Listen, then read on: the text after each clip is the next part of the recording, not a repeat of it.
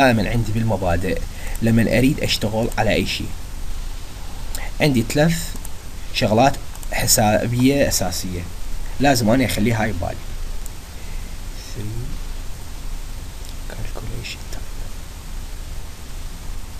هاي طبعا من بداية السنة ولا حد نهاية السنة هي راح تظل نفسها أول شيء أكو for streams يعني calculation for streams اثنين calculation for one unit.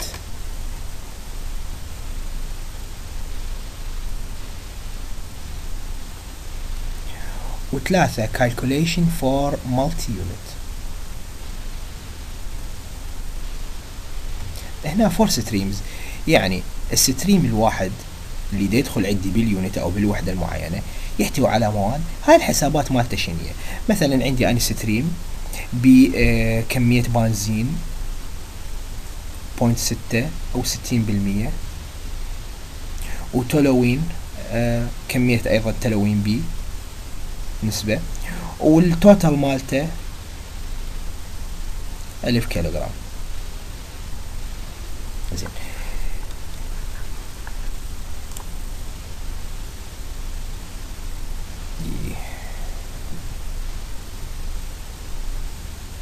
زين.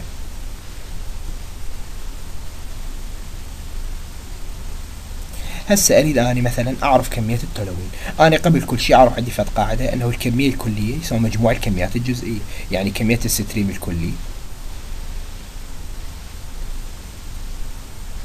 يساوي كمية البنزين.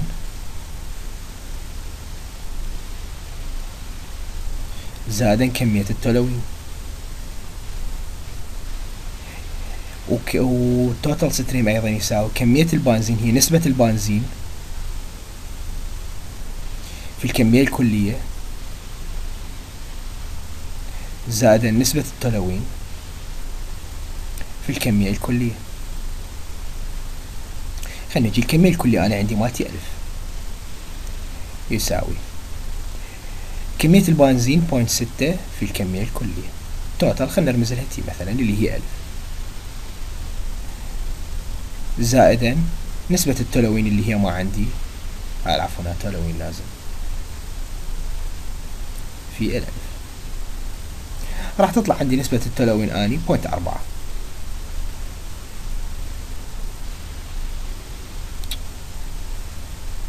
نسبة التلوين XT هتساوي point four وكميتها point four في ألف.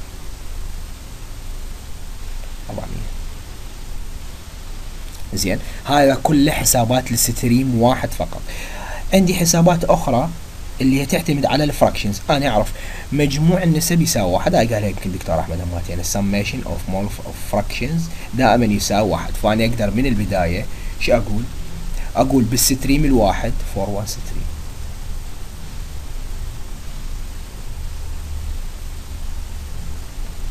عندي بال stream الواحد اني المول مجموع المولات مالته هو يساوي واحد يساوي لنا بنزين زائدا X تلوين واحد يساوي لنا point ستة زائدا XT يساوي point four هسه أخلي على بالي شغلتين. أقدر أسوي حسابات لكميات المواد واقدر أسوي حسابات لنسب المواد أيضا. لل stream الواحد مجموع النسب لازم يساوي لنا واحد. والكمية الكلية لل stream هي يساوي مجموع كميات الأجزاء للمواد اللي يحويها ال stream.